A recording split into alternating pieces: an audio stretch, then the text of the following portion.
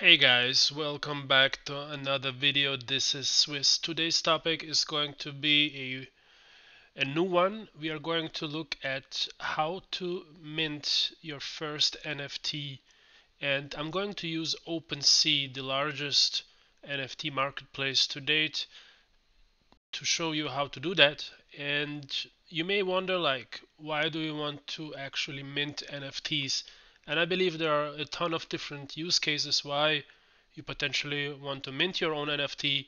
And uh, I think it's predominantly for content creators, especially artists who are going to look for that. But in my particular case, I did mint an NFT of my own avatar image. In this case, you can just see it here in the background. I did mint this on the Polygon network and I used OpenSea to do that. They have a great contract to mint NFTs and I used it in combination with my swissverse.eth web3 domain. Uh, I will have a separate video on how to attach an NFT as a background picture to an ENS domain name like that but I'm gonna do this separately not inside this video so basically if you do want to have an NFT attached to your ENS name, for example, you would have to have somewhere an NFT that you can refer to. And today I'm going to show you how to do that. So we are now on OpenSea.io, the marketplace. And if we hover over the round circle here, and the more advanced users who already have an, an OpenSea account may already have something set up. This is a Virgin account. I just had to sign a transaction to confirm that I agree with the terms of service here on OpenSea. And now I'm going to go to create. And here you can actually set up your NFT but before we do that you will have to quickly go over and create a collection if you haven't created one yet. So let's do this just right now. I'm going to create a random collection guys. I'm not going to put a whole lot of effort into it because I'm going to delete it afterwards. So I do include a logo image here now. I'm gonna skip on the featured and banner image but you should definitely uh, take advantage of all of this customization if you want to take this seriously. And then I will move on and just create a collection one you will probably want to name this something a little bit more meaningful but oh look it's already been taken. So let me call it 1x already been taken double x. Alright so we've got ourselves a name.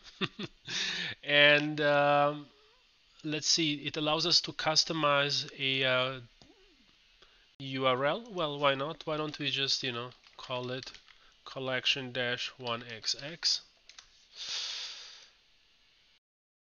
and I will skip on the description but definitely include one.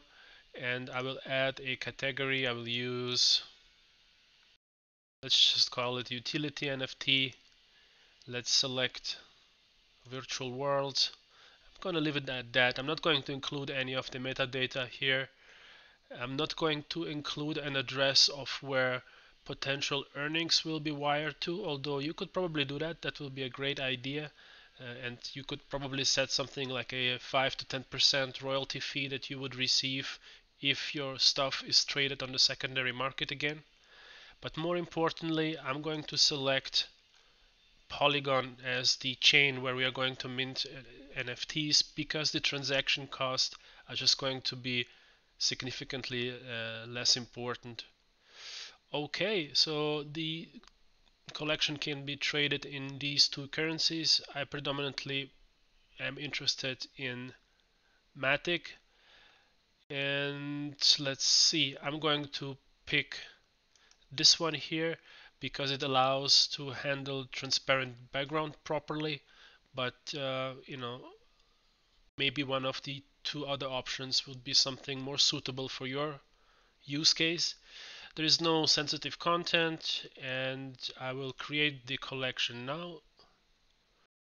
Okay, let's see, let's wait a little bit. Okay, the collection, it says the collection has been created, but I'm getting that error message and let's quickly check. I go back to my collections and we seem to have some kind of error message here but now reloading the page has brought it back so here we go the collection 1xx is alive so now we can continue to the actual creation of the NFT so there are various file formats that we can use here to create an NFT I'm just going to use a simple image for this basic example.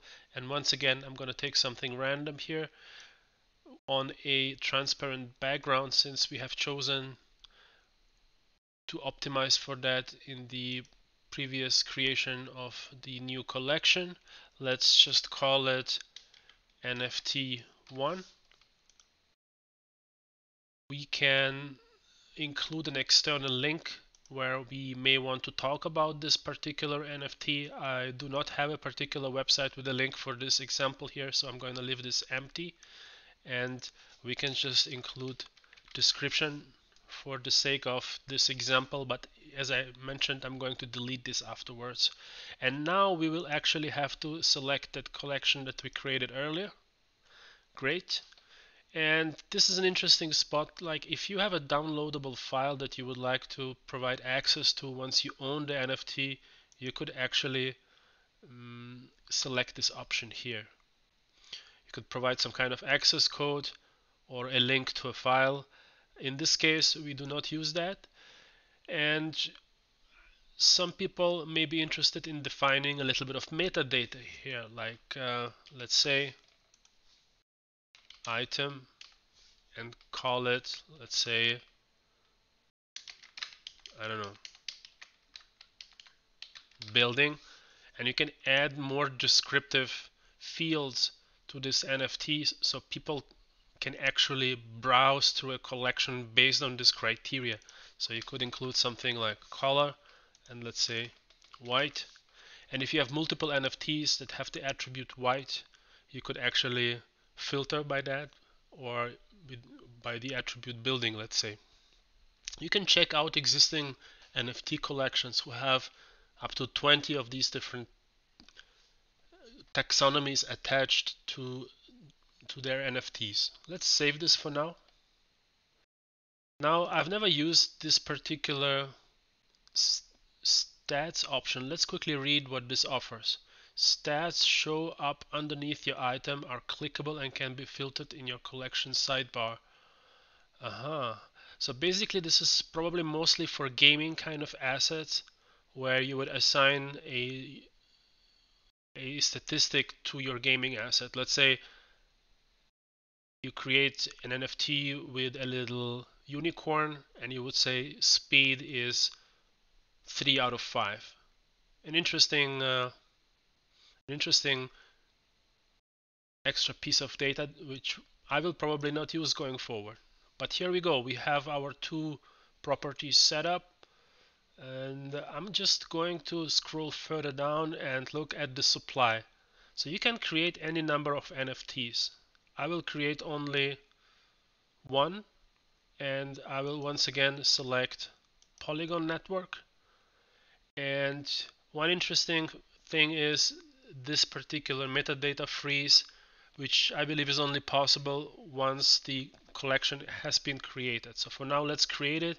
But in the future, if you would like to save all of this metadata and makes it, make it fixed, um, you will be having an option here to do so.